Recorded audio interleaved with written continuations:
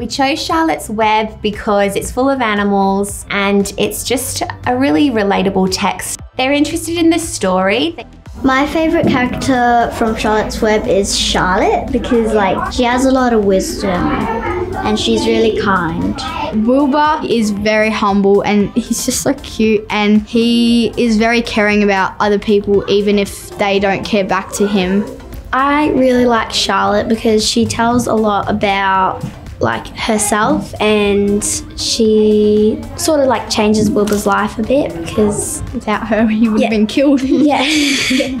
It has raised issues of is it right to slaughter rants and that sort of thing. So they definitely have empathy for the animals in general and making connections with their home lives and the pets they care for. If your parents said, look, we're not willing to pay any more for your animal's food, you have to sell your pet, how would you feel? I'd be devastated.